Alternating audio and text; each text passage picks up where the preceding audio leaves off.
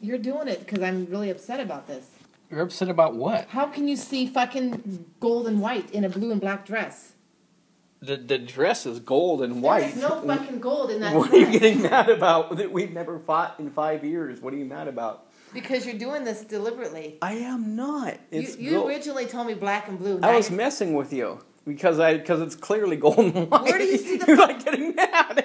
No, I am. I'm mad at everyone that sees gold and white because there is no gold and white in it. It's blue and black.